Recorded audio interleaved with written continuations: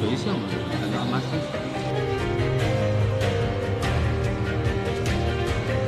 我是演员张彬彬我在司藤这部戏中饰演的是秦放。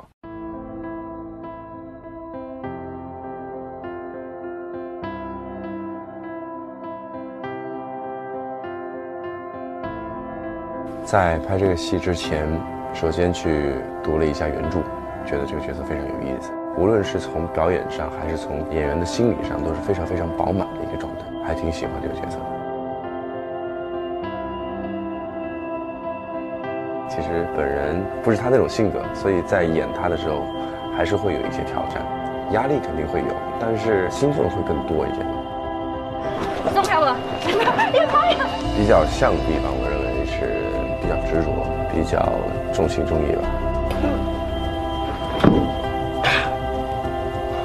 他的从一而终，对于从一而终的那种爱，这也是我比较喜欢秦放身上的东西。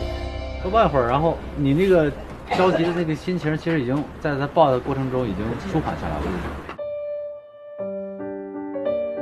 秦放与司藤的情感关系又甜又虐吧。我觉得司藤和秦放比较像的一点，我觉得是重情重义，然后非常善良，这是他们两个人的契合点。无论你是人还是异族，只要你是司藤就可以。本来他这个话说秦放，你果然记得我是听到这句话说的。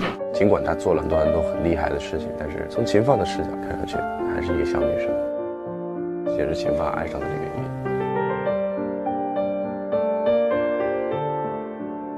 给他撑着撑着撑着，自己在那儿就这么睡着了。香格里拉、大理、西双版纳、横店、无锡，基本上云南都转遍了，然后又来到江苏，又来到浙江，尤其是在香格里拉，海拔四五千米的地方，因为我也是第一次去这么高原的一个地方，经常高反，喝那个高反药，然后再开工。我记得有一天晚上特别逗，我就在那儿睡觉睡着睡着，突然就喘不上气儿来了。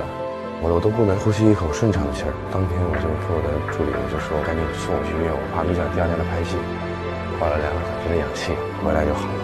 在那个地方让我印象非常深刻，景是真的美。在香格里拉，在很多地方很冷的时候，都不知道怎么去保暖。后来来了无锡之后，偶然间看到了一个可以加热的那种内衣，然后买回来试了一下，真的是非常暖和。然后就在现场嘚瑟，哎。太热了，只有一件小毛衣而已，让别人都看傻了有一场戏呢，就是我跟志同初次相遇。